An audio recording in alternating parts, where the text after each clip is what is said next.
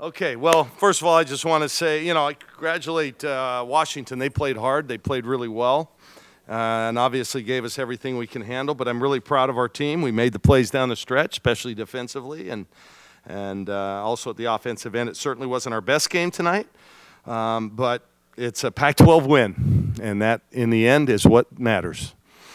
So, yeah, let's go.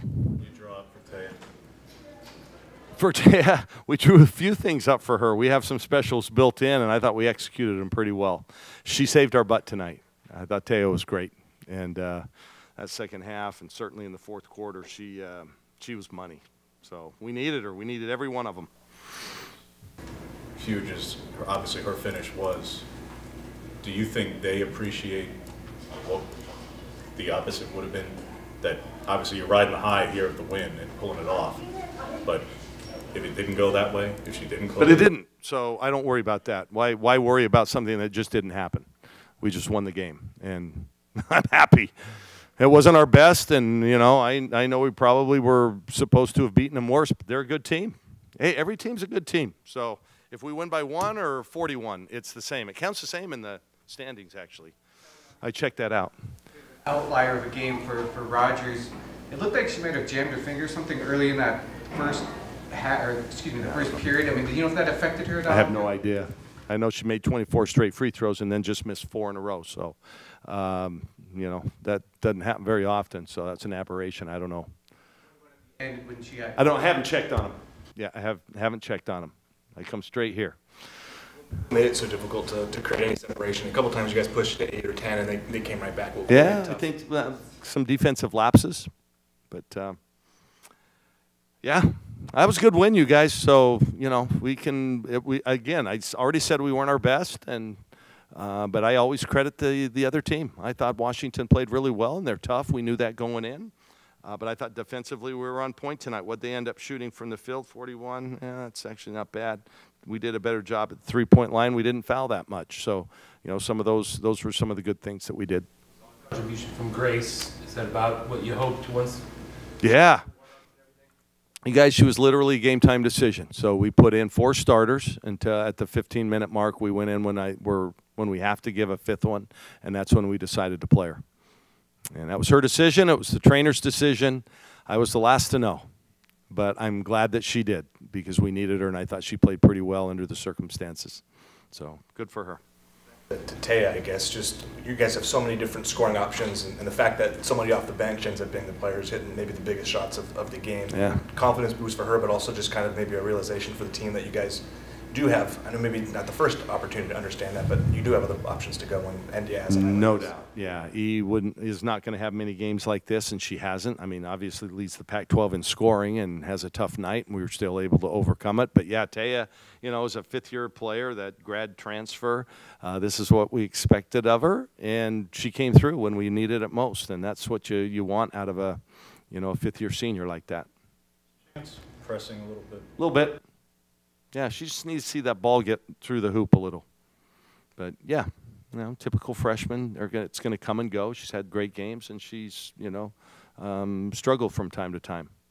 But she always plays good defense, and and she um, defended really well tonight. I thought.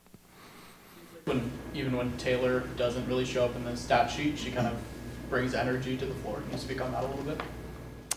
Yeah, well, that's that's her role on the team. You know, just get us extra possessions here and there. Um, you know, we're okay defensively when she's on the floor because then we can, uh, you know, switch a lot more screens. Uh, I thought Taylor did a, you know, did a good job, certainly in the second half uh, tonight. Yeah, that's what she does for us. That's that's her role.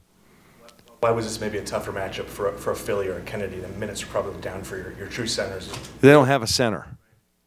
They don't have a center. So, and we didn't do a good enough job. We tried to, but then kept turning it over. You know, our turnovers right now, we got to fix that. I don't know. Um, I don't know really what it's from. I think sometimes we're a little too unselfish. We get too deep, um, and we're not the most athletic at the guard line, and so sometimes we struggle in the paint to make the right pass. So uh, we've got to clean that up. We're not going to beat good teams when uh, with 16 turnovers. It's too many. We're what 13th in the country in fewest turnovers and um, but they keep going up and up and up. We got to get better at it.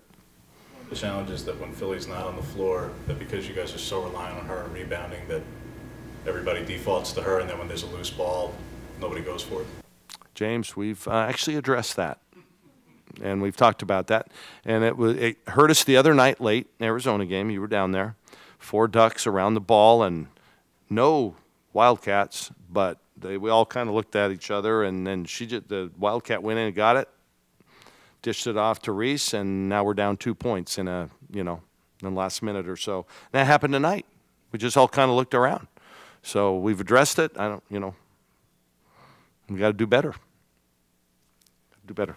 What, what does Washington State pose? Obviously, Charlisse is someone who we've seen now for a couple of years, and she's playing really well since coming back. But Yeah, premier player in the conference.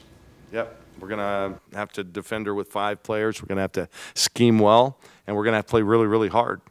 Uh, I thought we played hard tonight. We had uh, obviously that one letdown, that little- nine-point run of theirs. But uh, yeah, we've got a we got a, a, a challenge ahead of us. She's really good, and they have other pieces. I, I think uh, Kamie does an awesome job.